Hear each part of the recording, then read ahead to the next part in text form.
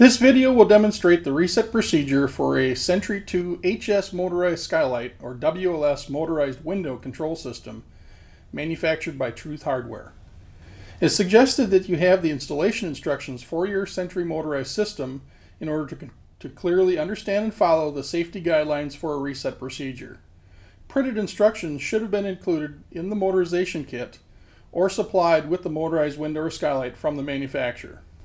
You can also print a copy of the installation instructions from our website at www.truth.com. Temporary disconnection of the power supplied to your motorized window or skylight is required to perform a hard reset to the controller.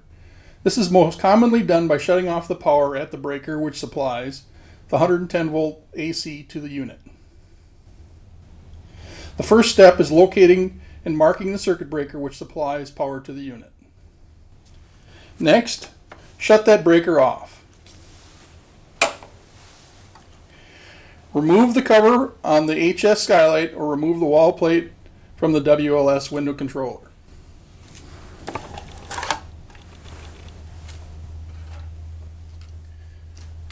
Next, locate the dip switch block on the circuit board. It should be located toward the side of the box.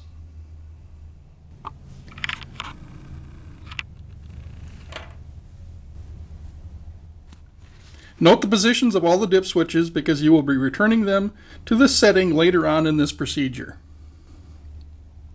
Switch all the dip switches to the off position. Turn the circuit breaker to restore power to the unit back on. The LED on the control board should begin blinking red. Turn off the breaker to shut the power off once again. The LED should go back off. Restore the dip switches to the previous on settings.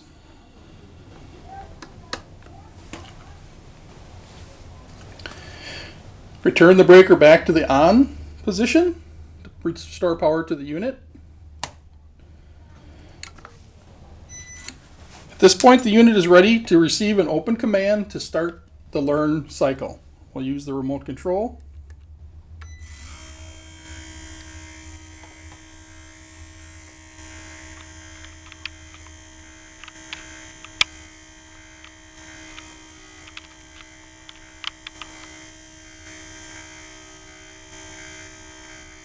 The unit should begin a full open and close cycle with the red LED lit. Once the cycle is complete, the skylight or window should be in the closed position and this would complete the reset procedure. A couple of quick tips. The HS units can actually be reset more easily by disconnecting the white power connector located in the center of the control board to interrupt power. You can also initiate a soft reset by pressing both the outside buttons on either the wall switch or the remote control.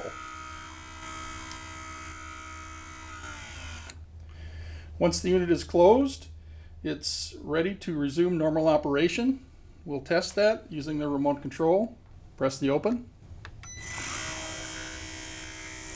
You'll note that now we have a green light lit, either on the wall switch plate or in the control box.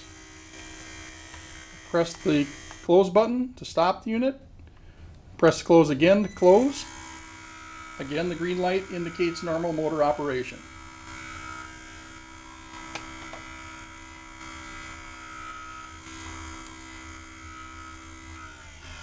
At this point, you can reinstall your motor cover.